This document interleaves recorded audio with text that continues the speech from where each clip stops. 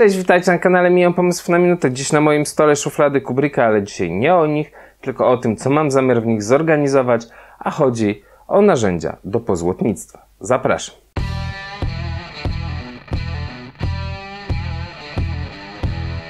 Moi drodzy, pozłotnictwo jest sztuką pokrywania materiałów, głównie drewnianych, y, przede wszystkim drewnianych, ale również wielu innych, złotem. No, oczywiście y, technologia zmieniała się na przestrzeni lat. E, pokrywaliśmy złotem ramy, pokrywaliśmy złotem zdobienia na ścianach. E, obecnie e, przede wszystkim nie używa się czystego złota, tylko używa się tak zwanego szlagmetalu. Ja ze szlagmetalu wycofałem się już dawno temu. Używam głównie złota, natomiast chciałem Wam pokazać dzisiaj narzędzia, które do tego stosuję, a czy one będą ostatecznie zorganizowane w tym dwuszufladowym e, systemie, czy w trzyszufladowym, to jeszcze się okaże, ale po pierwszych przymiarkach chyba jednak w trzyszufladowym. Jeśli będziecie zainteresowani, to pokażę Wam też w praktyce, jak się takie złoto nakłada i obrabia. Dzisiaj czysta teoria, typowo o narzędziach. Zapraszam. Moi drodzy, wprowadzenie szuflad od Kubricka jest dla mnie dosyć sporą rewolucją. W związku z tym e, zaczynamy razem z organizacją moją w tych szufladach narzędzi serię o narzędziach do pozłotnictwa. Będziemy też rozmawiać o narzędziach do obróbki skóry oraz o narzędziach do witraży. I to wszystko będzie zorganizowane właśnie w takich skrzynkach. Zaczynamy od podstaw, czyli od materiału. Ja materiał przechowuję w sposób następujący, wszystkie te książeczki, wszystkie inne historie do transportu są zamykane po prostu w takie okładki, które sobie zszywam, żeby mi się tutaj nic gdzieś tam nie rozpadło. E, materiał dzielimy na e, prawdziwe złoto i na tak zwany szlak metal. E, tutaj mamy 24-karatowe złoto, dokładnie tak jak widzicie mam opisane 23 i 3 czwarte, bo taką informację dostałem E, od producenta przy zakupie e, i to złoto sprzedawane jest w takich książeczkach. Wygląda to po prostu w ten sposób. E, szlak metal również jest sprzedawany w takich książeczkach. Tutaj jak widzicie, no to są książeczki używane. Natomiast otrzymujemy coś takiego. I teraz niezwykle ważna uwaga z mojej strony – prawdziwego złota nie dotykamy palcami, ponieważ później takiego odcisku się po prostu nie pozbędziecie. Nie spolerujecie tego, nie usuniecie tego, on już zostanie tam e, po obróbce e, na wieki wieków. Amen. Dlatego e, warto zacząć od szlag metalu i wyrabiać sobie po prostu przyzwyczajenia. Jeśli nie jesteście w stanie się kontrolować, no ja na chwilę obecną jestem już w stanie kontrolować swoją pracę, więc nie ma z tym problemu. Natomiast jeśli nie jesteście w stanie kontrolować, pracujemy w rękawiczkach. Zawsze pracujemy w rękawiczkach. No ja już po, po pewnym czasie mogę pracować bez.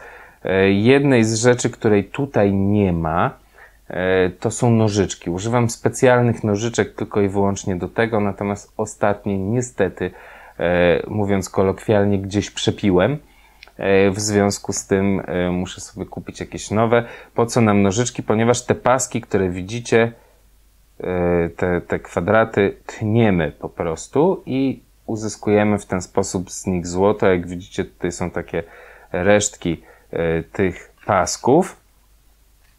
I teraz nie róbcie tego w domu, oczywiście. Ja to zrobię na potrzeby filmu.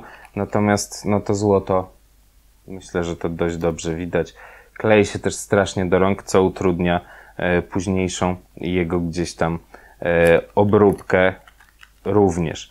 E, takie kawałki w miarę potrzeb takich, które mamy, tchniemy sobie po prostu ten pergamin, na którym jest to nasze złoto, czy też szlak metal, aczkolwiek szlak metal ma to do siebie, że ja spróbuję się pozbyć tutaj trochę, o, udało się, za zostawić taki mały kawałek. Szlak metal ma akurat to do siebie, że jest sprzedawany również w takich typowych e, fiolkach e, z takimi właśnie już pogniecionymi małymi kawałeczkami i pracujemy na tym.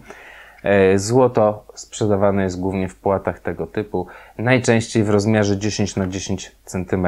Bynajmniej ja je w takiej formie e, kupuję. Jak widzieliście, lepi się strasznie e, do dłoni, w związku z tym no, nie dotykamy. Dlatego też potrzebne są nam kolejne narzędzia. Taki pasek, moi drodzy, umieszczamy na tak zwanej poduszce pozłotniczej e, i te poduszki pozłotnicze niektórzy robią sami, inni kupują. Ta jest kupna, ona jest już ze mną od jakiegoś czasu. Wcześniej miałem zrobioną przez siebie, ale no miała swoje lata i nie wyglądała najlepiej. Tą mam no już ładnych kilka lat. To jest na ogół zrobione w ten sposób, że na sklejce po prostu mamy założony jakiś rodzaj gąbki, albo kilka warstw e, miękkiej skóry, najczęściej dwoiny, bez lica, e, którą układamy, albo irchy, obijamy to naturalną skórą. E, tu mamy taki pasek. Ten pasek służy do przytrzymania na przykład naszej książeczki w wersji otwartej, tudzież właśnie wkładu do takiej książeczki, żeby łatwiej można było na tym pracować. Pod spodem mamy kawałek paska, E, w który po prostu wkładamy dłoń i pracujemy w ten sposób. Umieszczamy tutaj złoto e, albo szlak metal. E, tak jak mówię, proponuję zacząć od szlak metalu i od niego zacząć wyrabianie sobie odpowiednich praktyk i na tym pracujemy. No dobrze, ale to nasze złoto przychodzi w dużych kawałkach, a my chcemy i najczęściej potrzebujemy pracować na dużo mniejszych kawałkach. W związku z tym kładziemy sobie nasze złoto na naszej poduszce pozłotniczej i obrabiamy je nożami. I teraz ważna uwaga, jeżeli chodzi o noże. W żadnym wypadku noża nie dotykamy gołymi rękoma. Nie zostawiamy na nich żadnych tłuszczy, żadnych innych historii. E, one są e, z jednej strony, jak zwrócicie uwagę, specjalnie wyciągnąłem dwa noże, aczkolwiek mam tylko dwa, e, więc to też nie jest tak, że mam jakiś nie wiadomo jaki zapas. E, one są z jednej strony e, troszeczkę bardziej tępe, z drugiej strony troszeczkę bardziej zaostrzone, w zależności od tego, na jakim materiale pracujemy, bo oczywiście nie musimy nakładać samego złota, możemy nakładać srebro, możemy nakładać materiały szlagmetalowe, srebro podobne, miedziopodobne i tak dalej. Kładziemy sobie taki nasz arkusz i takim nożem wycinamy po prostu fragment, który potrzebujemy i musimy go przenieść na odpowiednio nałożone podłoże. I teraz, żeby przenieść to na nasze podłoże, znowu nie robimy tego rękoma, znowu nie robimy tego nożami, tylko potrzebujemy kolejnego narzędzia. To jest jeden z moich ostatnich zakupów, jeżeli chodzi o sprzęt pozłotniczy. E, to są tak zwane pędzle pozłotnicze i one występują w dwóch rodzajach. Do szlag metalu kupiłem większy, dwójpółcalowy. E, te akurat są produkcji marki Kolner. Mam nadzieję, że dobrze to wymawiam. Ten jest z wiewiórki. E, I one e, po prostu są w takiej formie. Poprzednie, które miałem, już były bardziej łyse niż ja na środku głowy, więc postanowiłem je zastąpić nowszymi, aczkolwiek no już nie są tak wykonane jak tamte stare, więc gdyby się jeszcze tamte nadawały, to bardzo chętnie pewnie bym ich używał. E, to jest nóż dwójpół, znaczy to jest pędzel dwójpół calowy, to jest pędzel e, półtora calowy. E, raczej ten sztuczny wykorzystuje do szlagmetalu i do materiałów jemu podobnych. Ten naturalny używam głównie do złota. Złota używamy bardziej oszczędnie. W związku z tym przenosimy przy pomocy właśnie takiego pędzla. I robimy to w ten sposób, że po prostu naszym pędzlem zbieramy ten kawałek złota, który potrzebujemy. Jeżeli on się nie chce po prostu do naszego pędzla przy, przyczepić, no to ja robię to w ten sposób, że pocieram o poduszkę pozłotniczą i w tym momencie to złoto już się nam do tego pędzla klei i możemy przenieść na jakąkolwiek inną powierzchnię.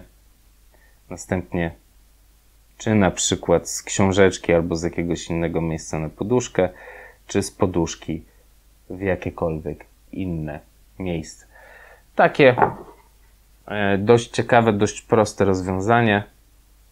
Narzędzie raczej nieprzydatne do innego celu. Tak jak mówię, jeśli nie chce się ono nam po prostu przenosić, to musimy trochę popracować i to złoto się nam do tego pędzla łapie. Oczywiście przenosimy dość delikatnie, bo te płatki nam spadają. Im bardziej precyzyjna praca, tym mniejsze te kawałki.